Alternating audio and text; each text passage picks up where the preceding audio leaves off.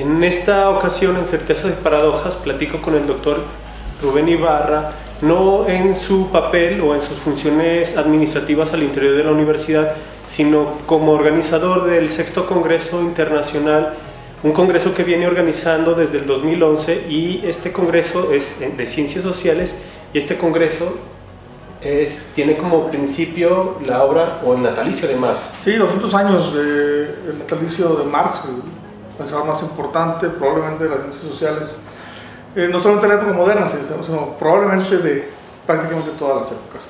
Efectivamente, desde el 2011 iniciamos este eh, Congreso Latinoamericano, en aquel momento Ciencias Sociales cumplía 30 años. Bueno, vimos que funcionaba como un espacio de discusión de los temas más importantes.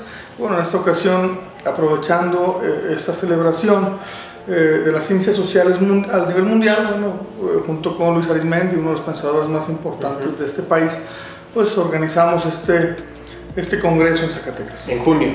Así es, es junio 6, 7 y 8 de junio. Tenemos prácticamente listo ya todo, ya tenemos un programa eh, preliminar, tenemos convenciones magistrales ya eh, confirmadas, ¿Quiénes? culturales 7 sobre convenciones magistrales que es fundamental. Bueno, Luis Arismendi, que ya lo comenté. Tenemos Armando Bartra, sin lugar a dudas son los pensadores más agudos que tenemos en este país.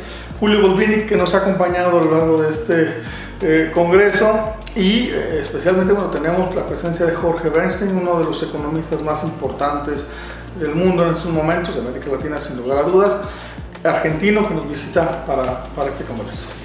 Y equilibras además el Congreso con una cuestión, una cuestión cultural Sí, donde sí. está Virulo, pero hay una serie de factores, ¿no? También, Sí, desde el principio el toque central que le dimos fue tratar de que la parte cultural fuera fuerte, fuera sólida.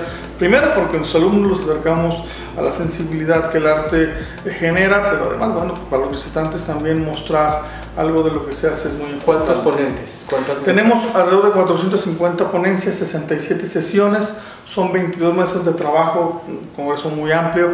Tendremos entre 600, 700 al final este, eh, inscritos participando directamente en el congreso. Y bueno, por último, pues, es una pregunta morbosa, pero obligada. ¿De verdad es tan vigente Marx? Sí, por supuesto. Creo que hoy, más que nunca, cuando esas contradicciones que el propio sistema genera, bueno, saltan a la luz en este proceso electoral en el que bueno, México eh, se juega en buena parte el futuro de, de nuestra economía y de nuestra estabilidad. Bueno, pensarlo desde Marx me parece que resulta muchísimo más sencillo eh, y más clarificante que pensarlo desde otra perspectiva.